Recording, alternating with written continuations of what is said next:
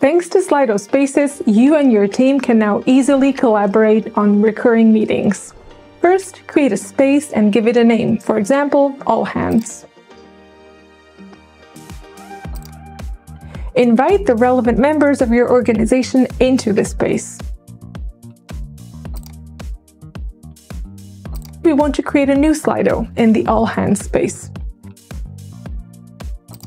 fill in the information and choose All Hands from the list of spaces. For already existing Slido events, simply open one, go to Settings, open the Share Access section, and you'll be able to sort it into one of your spaces. Happy collaborating!